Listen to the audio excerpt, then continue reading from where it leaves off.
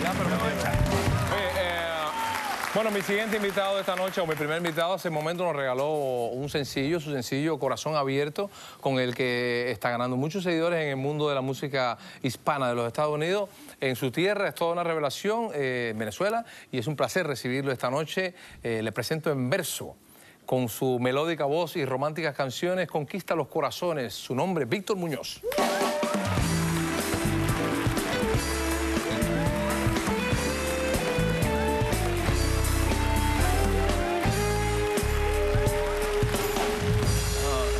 Estaba, estaba, estaba yo viendo eso en tu pre-release, de que, bueno, que hablan de que eres una revelación musical en tu tierra.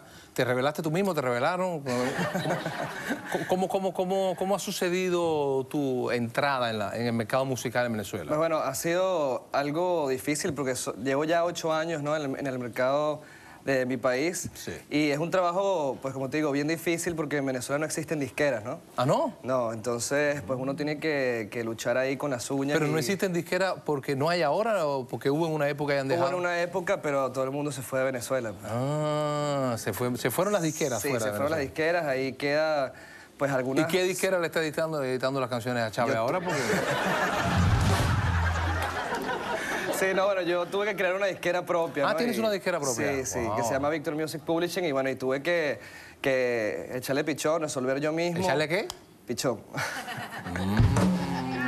Eso es algo Echarle ganas, exacto. Ah, yo pensé que era algo genital. Eh, Echarle pichón Ah, es, sí, no, no, es solamente echarle- gana ya. Echarle ganas, echarle ganas. Oye, estuve leyendo que, que, que en la gira de, de Alejandro Sanz, eh, que tú se la estuviste abriendo, la gira a, a Alejandro. Sí, estuvimos abriendo los conciertos de, de Alejandro Sanz en Venezuela y fue un gran privilegio, ¿no? Poder estar compartiendo la, la tarima con Alejandro Sanz, además que, que no solo fue que abrí los conciertos, sino estuve eh, compartir la tarima con él cantando una canción que se llama La Fuerza del Corazón. Eh, ah, cantaste junto con Alejandro. Sí, y bueno, ¿Y, un y aprendizaje. te, te hacía agacharte o te dejaba que estuvieras a tu estatura así? Claro, porque no, vaya, la comparación es un poco... Sí, no, no, de verdad que fue un, un gran privilegio poder Me compartir imagino, la son excelentes. Sí, eh, excelente cantante. Uno de los más grandes. Oye, eh, eh, él tiene una canción, bueno, Corazón Partido y tu Corazón Abierto. Sí. No te lo digo por alabarte a ti, me parece que Abierto es mucho más elegante que Partido. ¿Me entiendes? Yo prefiero decir yo soy un tipo abierto que soy un tipo partido. que me queda- Obviamente. queda mucho mejor. Obviamente. Eh, Alejandro no se puso celoso con tu corazón abierto. No, no, yo creo que además para ese momento él no sabía que tenía una canción que se llamaba Corazón Abierto. Corazón Abierto es de, es de ahorita. Ah, es una canción muy nueva. Sí, es más nueva. Pero, pero no compite con Corazón Partido, es otra onda. No, no, claro, totalmente. ¿Qué, qué- todo, todo, todo lo que haces es este, es este tipo de género o hay algún tipo de canción más...? más- yo, ¿O eh, todo es up-tempo, todo es...? eh, No, yo, yo fusiono muchísimos ritmos y, por ejemplo, en este disco, que es mi tercera producción musical, eh, pues estoy yéndome por dos vertientes, por la parte eh, latina, latin pop y la parte balada. eh, y yo fusiono muchísimo. Por ejemplo, este tema, Corazón Abierto, pues es una fusión de, de merengue con la balada, con, con- hasta con las guitarras de- de- del rock británico, eh, un poco de trance, o sea, tiene de todo, ¿no? Y, y trato de hacerlo de la ¿Trans? mejor manera. ¿Trans? Sí, trans. ¿Eso no es lo, lo de que engorda, la trans fat? Esto no, no, eso no, No, tiene nada que ver. Oye, eh, me hablas del amor en tus canciones y hablas de la necesidad de llegar al corazón de las mujeres. ¿No te parece que, que el exceso de silicona di- dificulta la llegada al corazón femenino hoy en día? Sí, bueno, yo creo que con una canción puede tocar y llegar más rápido. Sí, aunque sí que se toca más, que cuando uno es cantante toca más que... Sí. sí. Oye, además de cantante eres actor o además de actor eres cantante, ¿cómo es la No, historia? no, yo soy cantante y actor, bueno, ahí, este, cuando he, he tratado de hacer algunas cosas, pero, pero prefiero ser cantante diez mil veces. ¿Por qué prefieres ser cantante que actor? Pues lo hago mucho mejor. Porque te va mucho mejor. Sí, sí. ¿Se gana más como cantante o como actor?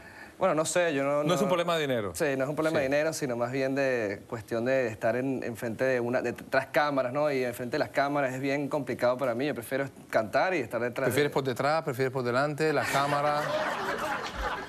Eh, ¿Prefieres ser camarógrafo? No sé. No, podemos hablar hasta la de bobería aquí un rato, ¿eh? Todavía, todavía. Ellos me avisan cuando dicen, ya, ya, ya, bótalo, sácalo ya y trae a otro. Ellos me dicen.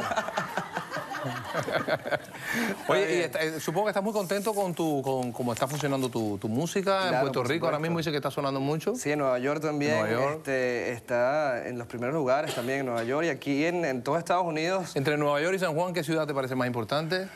Más importante. Sí. Bueno, las dos me, me gustaron. Eh, San Juan se parece pues a, a Caracas y Nueva York, pues bueno, obviamente... A la luna. sí, sí, es otra cosa. Pero sí, las dos, las dos son bien bonitas, tienen su, Es su encanto, ¿no? Es una broma. Eh, en un momento seguiremos conversando con Víctor. Oye, te deseo muchísimo éxito Hermano, con tu gracias. disco. De verdad está muy buena la música, muy, Gracias. muy que mueve el espíritu, que da ganas de bailar y es muy agradable escuchar tu música. Eh, nosotros también a la vuelta de publicidad tenemos aquí a la Pipi La Lola y tendremos a esa cantante cubanoamericana Maday. No se vayan, venimos ahora.